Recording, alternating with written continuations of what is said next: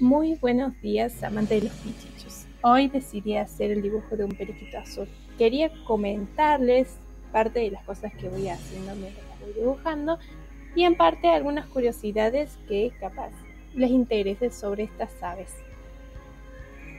Lo primero que voy a hacer es agarrar la imagen, cargarla a mi aplicación que es Ibis Paint y luego voy a agregarle las capas. Voy a empezar por los ojos. A mí me gusta muchísimo empezar por los ojos porque creo que es el reflejo básicamente de cualquier ser vivo.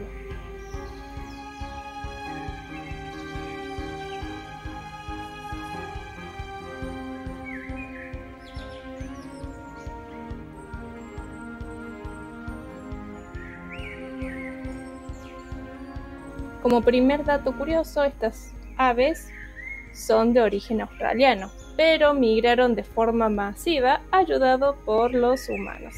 Así que ahora se encuentran básicamente en cualquier parte del mundo.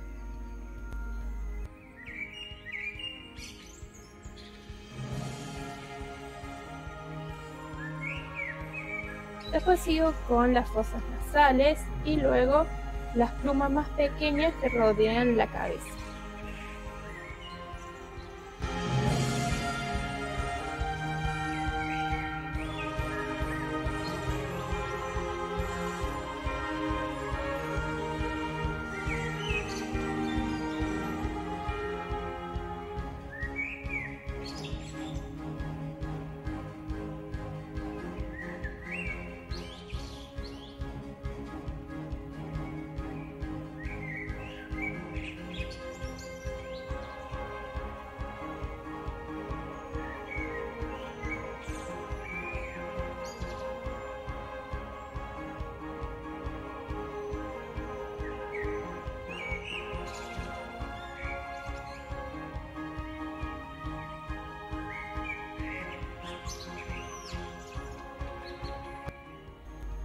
Estas aves nacen sin plumas, pero rápidamente crecen y desarrollan su plumaje cinco semanas después.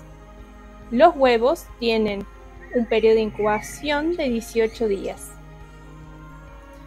Yo sigo tratando de rellenar un poco las partecitas que no llego a ver, así que siempre con el contraste del papel blanco, de la hoja blanca, me doy cuenta y lo puedo ver mejor.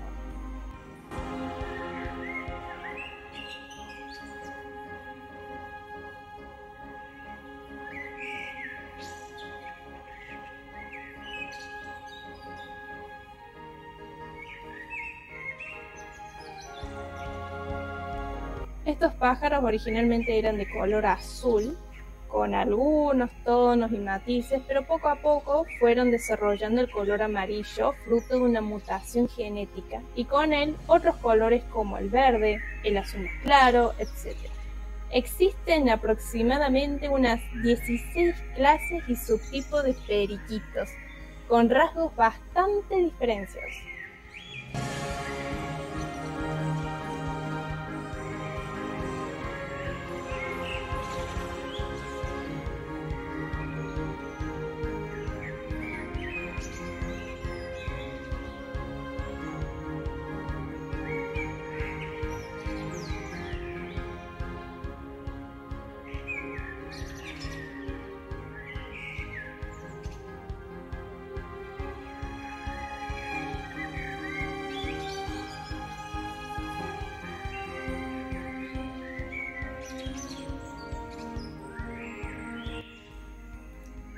Son muy sociables y aceptan incluso convivir con cualquier otro tipo de especie.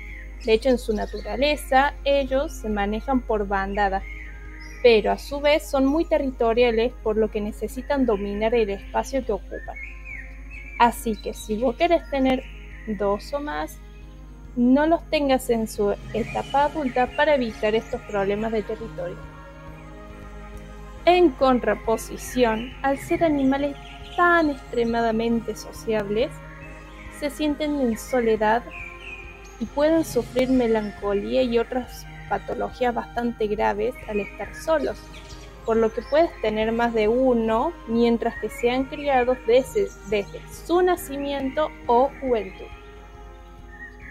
Yo lo que voy a ir haciendo ahora es agregar algunos más detalles como sombras o luces para que hagan el contraste en las alas más pequeñas, en sus plumas, para diferenciarlos y que no quede tan acartonado el dibujo.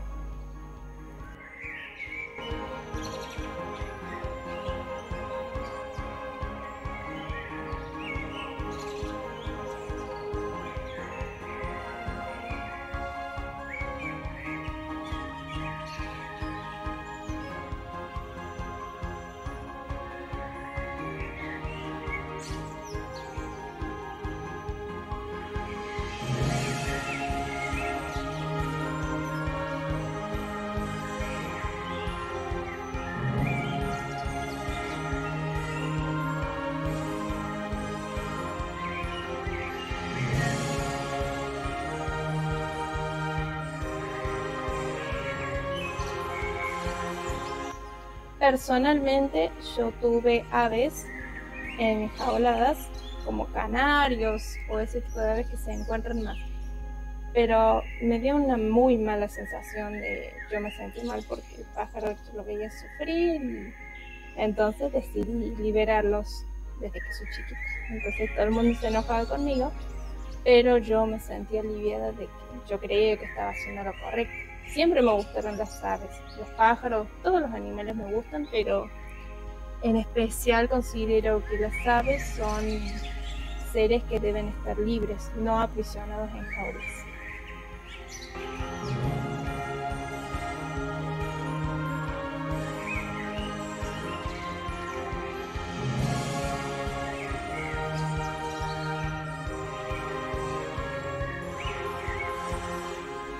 Desde que soy chica me han gustado las aves y cuando fui más grande siempre quise tener, pero cómo tenerlas sin que estuvieran enjauladas. Entonces a mi hija le regalaron una pajarera y decidí tenerla ahí semillita para ver cuando vinieran y se fueron las aves. Todo libremente. Yo no las toco, solamente las miro cuando vienen y cuando se van las dejo en paz, que sigan haciendo lo que tengan que hacer, migrar, eh, buscar refugio, armar sus casitas y demás.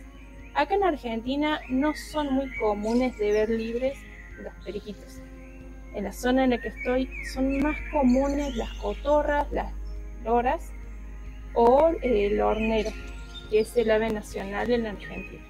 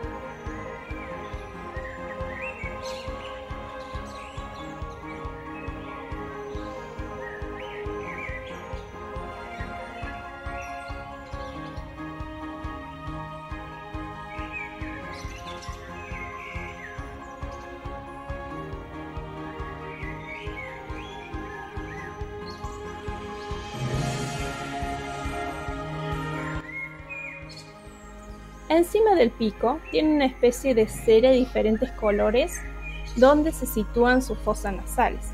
Pues bien, si la cera es azul, entonces es un macho, pero si la cera es marrón o rosa, puede llegar a ser una hembra, aunque los jóvenes también tienen un tono más claro de rosa o marrón.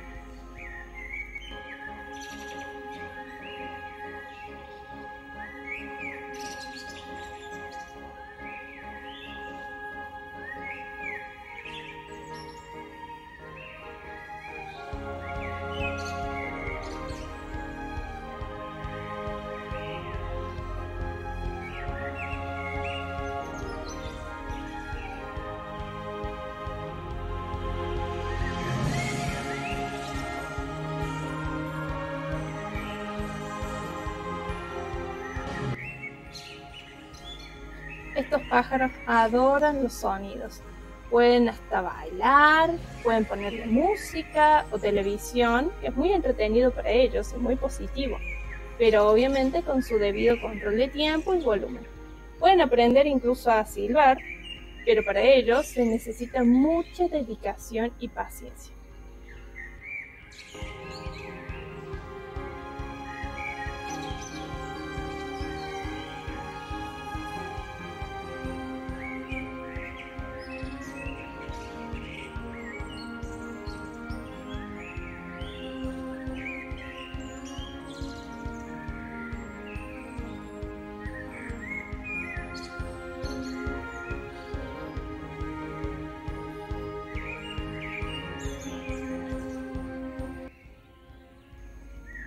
Trato de que en mis dibujos respetar los colores previos y aportar sombras y luces de ser necesario si es que no se comprende bien la forma de la luz.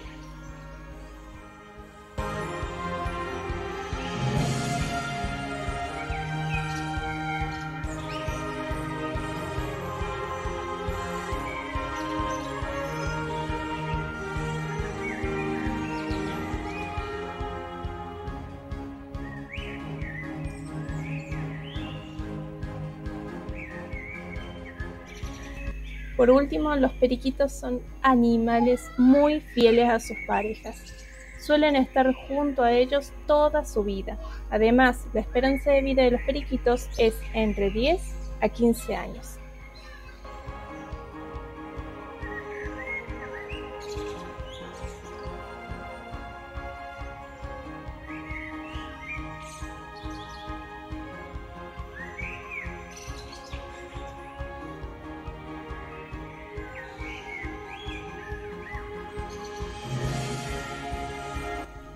Antes de finalizar, les dejo algunos consejos antes de adquirir cualquier animal, sea en este caso un ave, un perro, un gato, una rana, un conejo, un pez, hámster o cualquier otro. Deben informarse sobre el tipo de hábitat que debe tener ese animal y su correspondiente alimentación. Vayan y consulten los veterinarios cuándo deben ser desparasitados y si deben llevar vacunas. Propónganse aprender cómo adiestrarlas para que puedan desenvolverse con las personas y con otros animales si es que hubiera.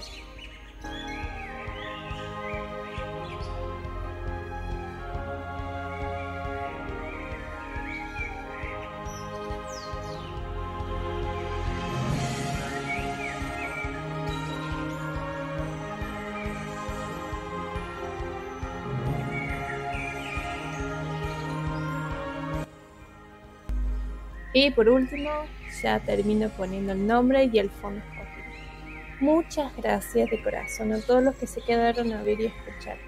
Pero es importante saber que hay muchas cosas más de las cuales uno debe informarse antes de adquirir cualquier tipo de animal. Por lo tanto, no dejen de informarse, incluso de los animales que ya tienen, y demos lo mejor lo mejor de nosotros para mejorar la vida de nuestros pichichos. Muchas gracias a todos y que tengan un hermoso día.